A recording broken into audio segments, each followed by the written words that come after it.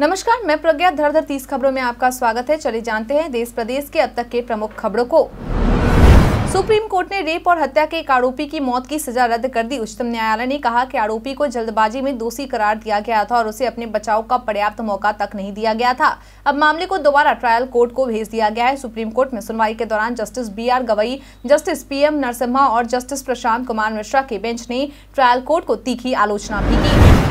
Health Canada की एक report के मुताबिक फार्मा कंपनी फाइजर के कोरोना टीके में कैंसर पैदा करने वाली सीमियन वायरस चालीस डीएनए सीक्वेंस मिला है। हालाँकि फाइजर ने इस डीएनए के बारे में पहले कोई खुलासा नहीं किया था। रिपोर्ट में पुष्टि के बाद वैज्ञानिकों के बीच बहस भी शुरू हो गई है।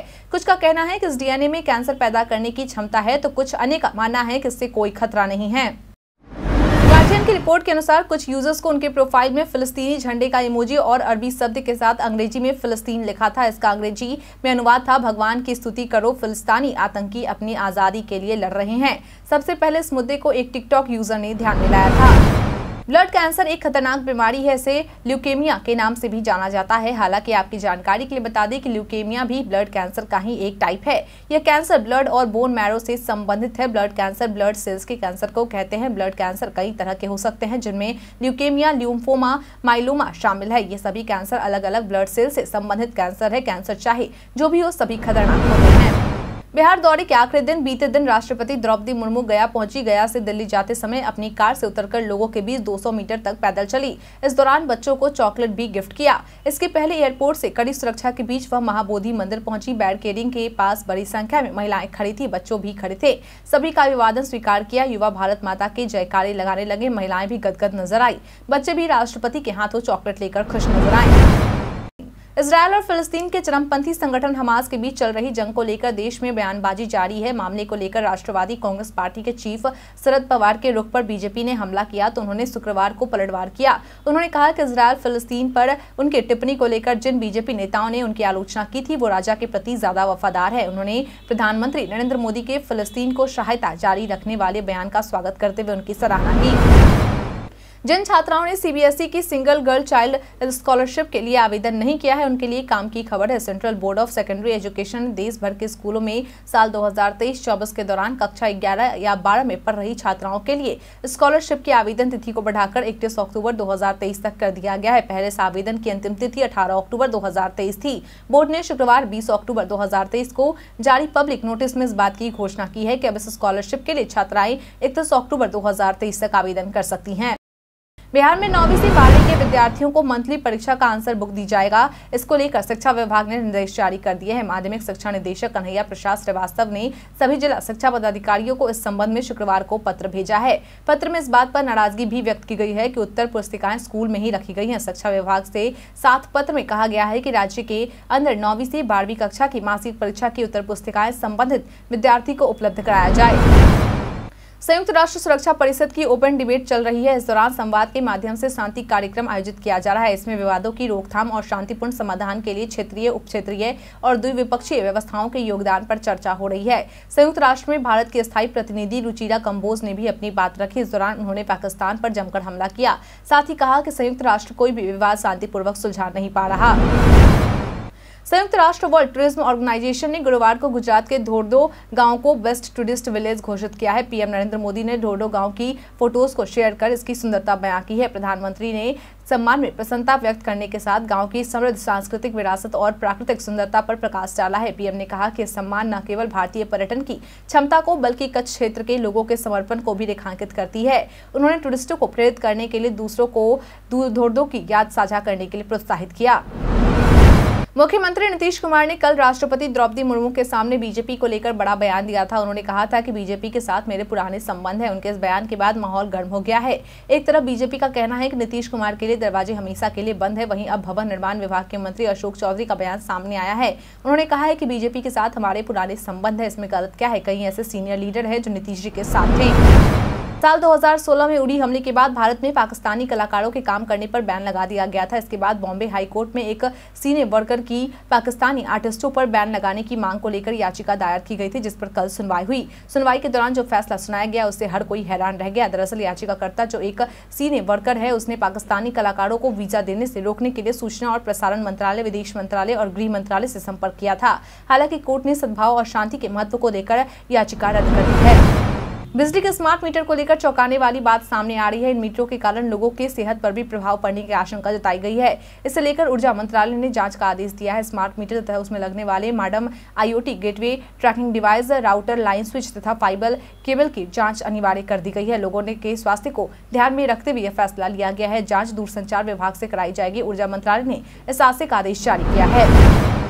हाल ही में जारी ग्लोबल थ्रेट असेसमेंट 2023 रिपोर्ट के आंकड़े बेहद चौंकाने वाले हैं। इस रिपोर्ट के मुताबिक बच्चों के ऑनलाइन शोषण में काफ़ी बढ़ोतरी हुई है। इंटरनेट पर बाल शोषण सामग्री में सतासी प्रतिशत की वृद्धि हुई है। वी प्रोटेक्ट ग्लोबल अलायंस ने अपनी चौथी वैश्विक खतरा आकलन रिपोर्ट जारी की है, जिसमें दो हज़ार उन्नीस के बाद से रिपोर्ट की गई बाल यौन शोषण सामग्री में सतासी प्रतिशत की वृद्धि पाई गई है। वैश्विक स्तर पर बाल शोषण के तीन करोड़ से अधिक मामले सामने आए हैं। निष्कर्ष यह है कि दुनिया भर में बच्चों को इस बढ़ते खतरे से बचाने के लिए एक बहुमुखी प्रतिक्रिया की आवश्यकता है। अहमदाबाद के मारिंगो सीआईएमएस अस्पताल के डॉक्टरों ने एशिया का पहला ब्लडलेस हार्ट ट्रांसप्लांट सफलतापूर्वक किया है। भारत ऐसा करने वाला एशिया का पहला देश बन गया है। पेशेंट बावन वर्षीय चंद्र प्रकाश गर्ग, जो स्केमिंग डायलेट कार्डियोमायोपैथी के लास्ट स्टेज में थे, उनका एक इनोवेटिव मेथड के ज़रिए ट्रांसप्लांट किया गया है, जिस व्यक्ति का हृदय इन्हें दिया गया है, वह तैतीस वर्षीय युवक था। उसकी सड़क दुर्घटना में जान चली गई थी। रिज़र्व बैंक के गवर्नर शक्तिकांत दास ने शुक्रवार को कहा कि दो हज़ार रुपए के नोट वापस आ रहे हैं और अब अब केवल दस हज़ार करोड़ रुपए मूल्य के नोट ही अब लोगों के पास है। दिल्ली में एक कार्यक्रम के दौरान अलग से बातचीत में उन्होंने कहा कि दो हज़ार रुपए के नोट वापस आ रहे हैं और अभी बाज़ार में केवल दस हज़ार करोड़ रुपए के नोट बचे हैं। उम्मीद है कि ये नोट भी वापस आ जाएँगे। इससे पहले दास ने कहा था कि चलन से वापस लिए गए दो हज़ार रुपए के सत्तासी फ़ीसदी नोट बैंकों में जमा के रूप में वापस आए हैं, जबकि शेष को अन्य मूल्य के नोटों से बदला गया है। बेंगलुरु में स्थित एम चिन्नास्वामी में तैनात एक पुलिसकर्मी की ओर से शुक्रवार को पाकिस्तान बनाम ऑस्ट्रेलिया मैच के दौरान एक पाकिस्तानी फ़ैन को पाकिस्तान जिंदाबाद का नारा लगाए जाने से रोकने पर विवाद खड़ा होता दिख रहा है। इस मामले का एक वीडियो सोशल मीडिया पर वायरल हो रहा है। इस वीडियो में खाकी वर्दी पहना एक व्यक्ति हरे रंग का जर्सी पहने शख्स को पाकिस्तानी जिंदाबाद का नारा लगाने से रोकता हुआ दिख रहा। हालाँकि इस वीडियो के बारे में बिहारी न्यूज़ की ओर से कोई पुष्टि नहीं की जा रही। पंजाब के मुख्यमंत्री भगवंत मान की ओर से शुक्रवार को लुधियाना के धनासू में टाटा समूह के देश में दूसरे सबसे बड़े प्लांट का शिलान्यास किया गया। इस अवसर पर मुख्यमंत्री भगवंत मान ने कहा कि औद्योगिक क्षेत्र की प्रसिद्ध कंपनी टाटा ग्रुप की तरफ़ से व्यापक निवेश करने से राज्य में औद्योगिक विकास पर तरक्की के नए युग का आगाज़ हुआ है। उन्होंने कहा की आज यहाँ हाई टैक वैली में छब्बीस करोड़ रूपए की लागत के साथ एक सौ पंद्रह एकड़ में स्थापित हो रहे ग्रीन स्टील प्लांट के नींव पत्थर रखा गया। सिख अलगाववादी नेता की हत्या के मामले को लेकर भारत और कनाडा के बीच कई, बीते कई सप्ताह से जारी तनाव में अब अमेरिका और ब्रिटेन की भी एंट्री हो गई है। अमेरिका और ब्रिटेन दोनों ने भी कहा है कि भारत को इस पद पर कायम नहीं रहना चाहिए कि कनाडा को भारत में अपने राजनयिकों की मौजूदगी कम करनी चाहिए। कनाडा में सिख अलगाववादी नेता हरदीप सिंह निज्जर की हत्या के बाद कनाडा ने इसके पीछे भारतीय एजेंसियों का हाथ होने का सबूत दिखाया था। भारतीय अंतरिक्ष अनुसंधान संगठन ने गगनयान मिशन के लिए मानव रहित उड़ान की परीक्षा को सफलतापूर्वक पूरा कर लिया है। शुरुआती तकनीकी खराबी को दुरुस्त करने के बाद सुबह दस बजे क्रू मॉड्यूल को लेकर इसरो ने रॉकेट ने उड़ान भरी और क्रू मॉड्यूल के परीक्षण को सफलतापूर्वक पूरा किया। पहले तो सुबह सात बजे से शुरू होने वाली परीक्षण उड़ान का समय बदला गया, फिर लॉन्चिंग से ठीक पाँच सेकंड पहले रोक दिया गया, जिसके बाद इसरो चीफ एस सोमनाथ ने बताया कि तकनीकी खामियों की वजह से इसे फ़िलहाल टाला जा रहा है। व्हीकल पूरी तरह से सुरक्षित है। सीएम योगी के निर्देश के बाद यूपी के अलग अलग जिलों में नारी सुरक्षा सम्मान और स्वावलंबन के लिए शक्ति वंदन समारोह आयोजित किए जा रहे हैं। इसी बीच यूपी के गोंडा ज़िले में शारदीय नवरात्र की अष्टमी को जिला मुख्यालय पर शक्ति वंदन के तहत देश का सबसे बड़ा कन्या पूजन समारोह आयोजित होने जा रहा है। विभागीय अफसरों ने बताया की समारोह की उपलब्धि को लिमका बुक ऑफ़ रिकॉर्ड में दर्ज कराने के लिए इससे जुड़े लोगों से संपर्क किया गया है। गोंडा के डीएम नेहा शर्मा ने बताया की अष्टमी को जिला मुख्यालय पर आयोजित होने वाले समारोह ज़िले भर की ग्यारह कन्याओं का पूजन व सम्मान किया जाएगा। मोतिहारी में आयोजित दीक्षांत समारोह में मुख्यमंत्री नीतीश कुमार ने कुछ ऐसी बात कही थी कि उसका मतलब बीजेपी से दोस्ती को जोड़कर देखा जाने लगा था। शनिवार को इस पर मीडिया से बातचीत में नीतीश कुमार मीडिया पर भड़क उठे। मोतिहारी में जो उन्होंने कहा, उसका गलत मतलब निकाल दिया गया है। मोतिहारी में विश्वविद्यालय बनाने की चर्चा थी। मोतिहारी में विश्वविद्यालय बनाने को लेकर हमने दबाव बनाया। मेरे कहने का मतलब बीजेपी के साथ का बिल्कुल नहीं था। मेरे कहने का मतलब था कि जो काम हुआ है, उसे याद रखिए। वनडे विश्व कप 2023 के अपने चौथे मैच में भारतीय टीम ने बांग्लादेश को करारी शिकस्त दी थी। इस मैच का जो वाक्य अभी तक चर्चा का विषय बना हुआ है, वो अंपायर का व्हाइट बॉल न देना है। अब ऐसे में पाकिस्तान के पूर्व दिग्गज वसीम अकरम ने अपनी प्रतिक्रिया दी है। उन्होंने कहा कि ऐसा लगता है कि ये अंपायर द्वारा दी गई वास्तविक गलतियों में से एक है। यह निश्चित रूप से एक व्हाइट गेंद थी, पर यह उन लोगों के लिए है जिनके पास करने के लिए कुछ नहीं है, जो इस बकवास पर रहते हैं। इसको छोड़कर आगे बढ़ना चाहिए। आगे विराट कोहली को लेकर अकरम ने कहा कि विराट कोहली की फिटनेस दर्शाती है कि वो कितना लंबा खेल सकते हैं। विराट इस मैच में बल्लेबाजी को एंजॉय कर रहे थे और गेंदबाजों के साथ खिलवाड़ कर रहे थे। तमिलनाडु के रहने वाले नटराज की किस्मत खुल गई है। लक्ष्मी ऐसी मेहरबान हुई है कि अब अगले 25 सालों तक छप्पर फाड़ कर पैसा बरसेगा। संयुक्त अरब अमीरात में प्रोजेक्ट मैनेजर की नौकरी करने वाले मगेश कुमार नटराजन ने शुक्रवार को एक जैकपॉट जीत लिया, जिससे उन्हें अगले 25 वर्षों तक हर महीने पाँच लाख रुपए से अधिक की कमाई होगी। एक तरीके से नटराजन को करीबन सोलह दशमलव करोड़ रुपए मिलेंगे। राजस्थान विधानसभा चुनाव में पहली बार प्रत्याशियों के नाम जारी करने में दलों के पसीने छूट रहे हैं। कल दिल्ली में बीजेपी के केंद्रीय चुनाव समिति की बैठक में बहुत नामों में मंथन हो चुका है, मगर अभी तक लिस्ट जारी नहीं हो पाई है। वहीं दूसरी तरफ़ कांग्रेस में परसों ही सब कुछ फाइनल हो गया, मगर लिस्ट जारी नहीं हो पाई। चुनाव की तैयारी में लगे नेताओं में बड़ी उपापोह की स्थिति बनी हुई है। बावन वास की कांग्रेस विधायक इंदिरा मीना ने तो अपने सोशल मीडिया पर नामांकन की घोषणा तक कर दी है। कई संभावित प्रत्याशियों ने पर्चे भी बांटने शुरू कर दिए हैं। बस अभी सभी को लिस्ट आने का इंतज़ार है। चार लाख नियोजित शिक्षकों को विशिष्ट शिक्षक बनाने समेत अन्य सुविधाएँ प्रदान करने को लेकर बनी नियमावली के प्रारूप पर एक लाख से अधिक सुझाव शिक्षा विभाग में आए हैं। इनमें अधिकतर ने नियमावली से शिक्षकों की सेवा समाप्त करने का प्रावधान को खत्म करने को कहा है। मालूम हो कि प्रारूप में यह साफ़ किया गया है कि नियोजित शिक्षकों को विशिष्ट शिक्षक तभी बनाया जाए जब वह विभाग द्वारा आयोजित सक्षमता परीक्षा में पास होंगे। केंद्रीय रक्षा मंत्री राजनाथ सिंह ने माने कसौ सेंटर में भारतीय सैन्य विरासत महोत्सव का उद्घाटन किया। इस दौरान उनके साथ भारतीय सेना प्रमुख जनरल मनोज पांडे भी मौजूद रहे। रक्षा मंत्री राजनाथ सिंह ने कहा, मैं United Service Institution of India को बधाई देना चाहता हूँ कि उन्होंने पहली बार भारतीय सैन्य विरासत महोत्सव आयोजित करने का प्रयास किया। मैंने अपने कुछ सुझाव भी दिए और मैं समझाता हूँ की देश के युवाओं को क्रांतिकारियों और जवानों की भूमिका के बारे में पता होना चाहिए।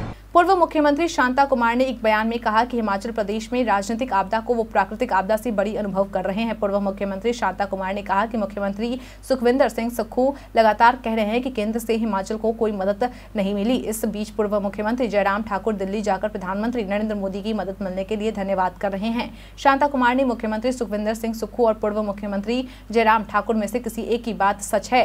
दोनों नेताओं की बातें सच नहीं हो सकती। शांता कुमार ने कहा कि यह कहना उनके लिए मुश्किल है कि इन दोनों में से कोई ना कोई तो झूठ बोल रहा है।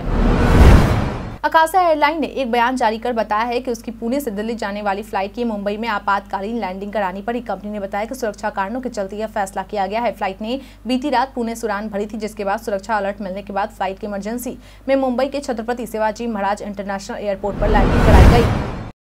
हमारे द्वारा पूछे गए सवाल का आप लोगों में से बहुत लोगों ने जवाब, हमें हमारे कमेंट सेक्शन बॉक्स में लिख कर दिया था, जिन्होंने हमारे द्वारा पूछे गए सवाल का जवाब दिया है। उनके नाम है नगोलू कुमार, मोहम्मद फहीम, मोहम्मद सकीर हुसैन, रविशंकर, जितेंद्र ठाकुर, रंजीत कुमार झा, अनवर करीम खान, नौशद अंसारी। अब बढ़ते हैं आज के सवाल की और आज का सवाल है, ट्रेन में सफ़र करने के दौरान आपको किन परेशानियों का सामना करना पड़ता है? अपना जवाब हमें हमारे कॉमेंट सेक्शन में लिखकर ज़रूर बताएँ। आज के लिए इतना ही, धन्यवाद।